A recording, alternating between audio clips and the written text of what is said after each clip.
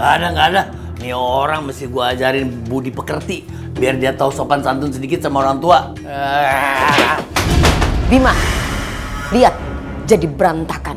Semua itu gara-gara kamu. Ini rumah babeku. Bang Bima, Bang Bima. Udah bang. Sebaiknya nggak usah terusin nih bang ya. Huh, kagak bisa.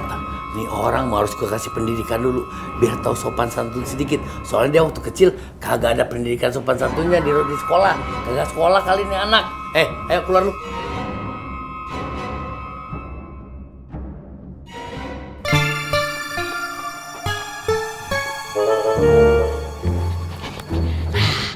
Mendingan di sini nih, kayaknya tempat paling aman walaupun berbahaya di rumah Aki. Ya, mudah-mudahan aja kagak ada yang lihat. Eh kempot, Buset deh, siapa lagi nih? ngapain lu di situ? Lu mau nyari masalah di kampung ini? Hah? Bangun lu. Eh Ren, ngapain lu?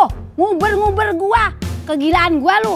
Eh mikir, lu mah masih muda. Jangan mau kayak gua, gua mau demak emak. Ya ampun, cari cono cewek yang sepantaran lu. Cabe-cabean kek, apa kek.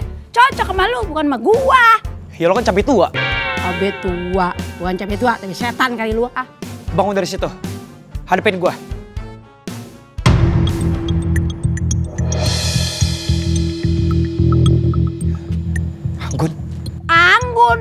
Mata lu soek, gua disamain sama Anggun. Enak aja. Anggun sama gua, cakepan gua. Nggak ada apa-apanya si Anggun sama gua.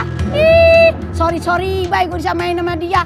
Kagak bakalan gua terima. Enak aja, seksinya, cantiknya, hidungnya, bibirnya, cakepan gua semua juga.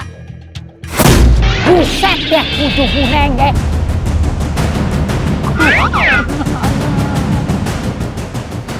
Eh, Tilanak.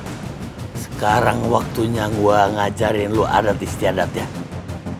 Biar lu tahu diri.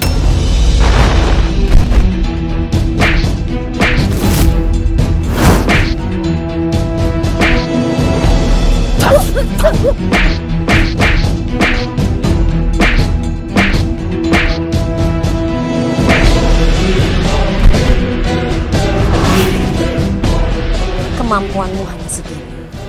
Untuk apa kamu harus ngajarin orang lain? Mendingan kamu belajar sama aku. Supaya ilmumu lebih tinggi. Ah, tenang aja. Gua lagi males aja nih. Lu tau dong gua kalau lapar kagak fokus. sombong. Huh!